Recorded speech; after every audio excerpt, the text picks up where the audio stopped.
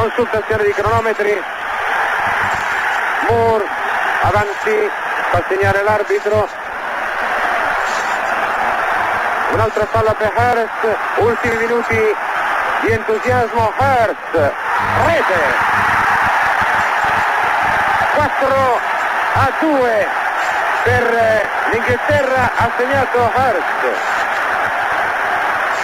lo stadio in delirio agitare di bandiere canti e animo vibrante in tutti con la fine. L'Inghilterra ha battuto la Germania per 4 a 2 vincendo l'ottava edizione della Coppa Rimet.